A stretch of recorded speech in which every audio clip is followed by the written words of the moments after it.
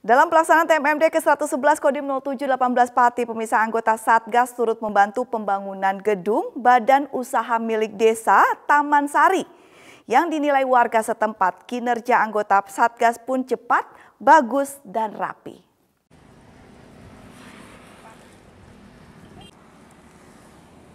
Selalu membantu warga dalam berbagai kesempatan, kehadiran anggota Satgas disambut baik oleh warga Desa Tamasari, Kecamatan Jaken, Kabupaten Pati.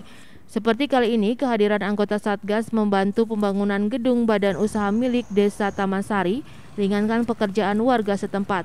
Muhlis warga Desa Tamasari mengaku terkesan dibantu anggota Satgas, dinilainya kinerja Satgas cepat, bagus, dan rapi. Alhamdulillah dibantu sama TNI kerjanya cepat bagus rapi. Ya tanggapan saya ya bagus. Udah semua desa di Taman Sari udah dibantu semua sama TNI Muhlis menambahkan kehadiran anggota Satgas dalam program TMMD ke-111 Kodim 0718 Pati di Desa Tamasari banyak membawa manfaat untuk warga desa setempat.